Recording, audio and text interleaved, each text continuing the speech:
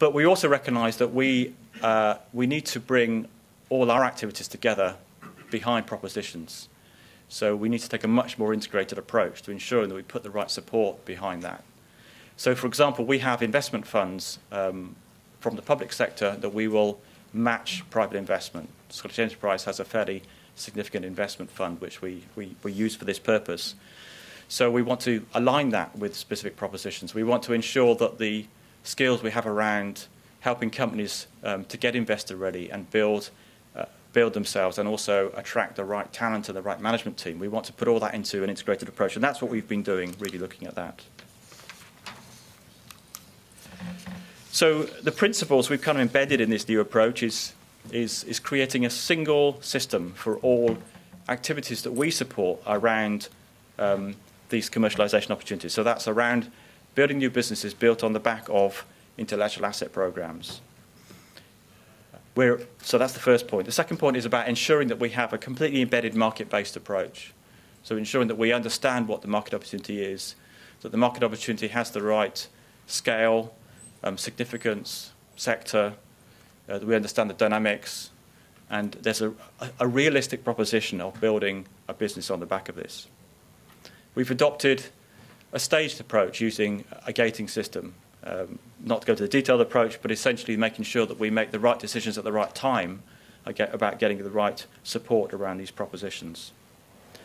Very importantly, and probably, probably the biggest issue is about having the right person or people to lead the opportunity. So having the right commercial champion to lead it.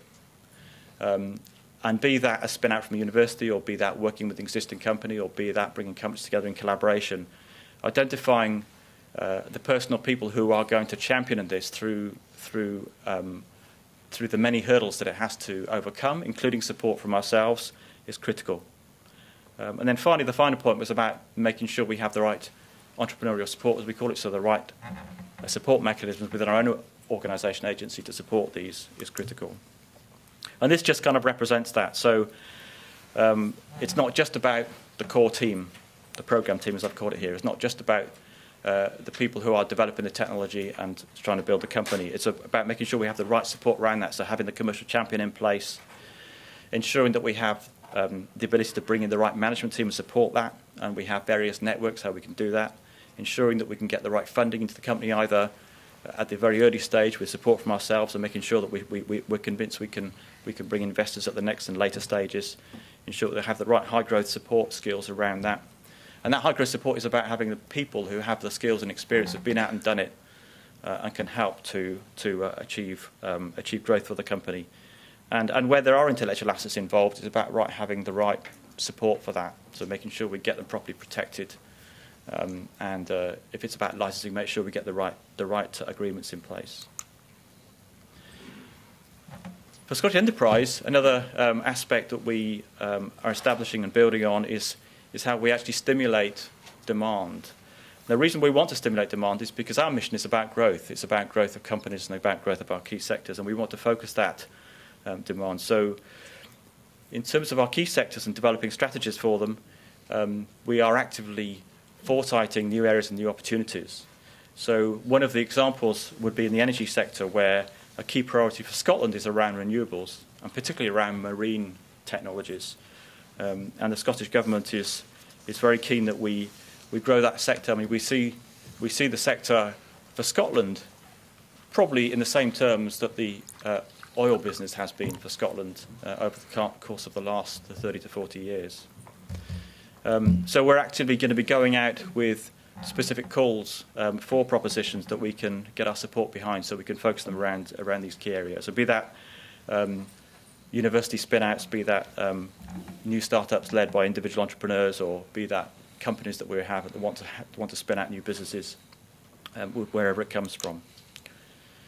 Um, so I think I've, I think I've kind of covered some of this. So it's about um, ensuring that we have the right company building capability behind these opportunities, so the high, high growth support, um, we can build the right management teams, we can get the right funding in.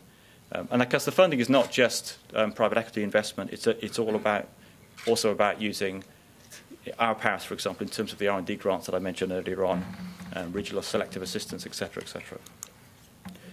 Um, and just to point to a few successes, um, and these are you know, companies that um, you know, have, have benefited from some of the principles that we've put, been putting in place to this new approach. Um, so, for example, uh, Actual Analytics, um, which was a spin out from Edinburgh University from their School of Informatics. Um, they have just literally in the last month raised over 900,000 investment from a consortium of investors. Um, the company in particular is looking at analysing behaviour, um, a crucial step in the development of drugs, so treating diseases such as um, uh, central nervous system and Alzheimer's and, and Parkinson's. Um, Biopta, um, this has been going for a little bit longer, but a spin out from Glasgow, Caledonian. Um, they benefited from, from a proof of concept program that we've, we've run very successfully for a number of years. Um, and then uh, finally, Embedded Technology Solutions, a recent spin out from Strathclyde, um, which was supported through um, an ITI style program um, that, we, uh, that we funded. Um, they were actually spun out, only spun out last year, but we've already uh, won their first contract. Their businesses in the area of condition based monitoring for cattle and they've just won their first major contract um, in the UK. So, so three successes. So that's really all I wanted to say. Just before I go, um, by way of an advertisement, some of the things that we are doing. Um, if you did get a chance to visit our stand, please do. But also, I could just draw your attention to um, the area we focus on in terms of innovation, and uh, in particular, um, how about the opportunity to win a £10 million prize? So the Scottish Government is putting up £10 million as an innovation prize. We believe it's probably the biggest innovation competition uh, at the moment in the world, called the Salt, it's around the Saltire Prize. And it's a challenge to accelerate commercial development of marine energy, which is one of the key areas I mentioned.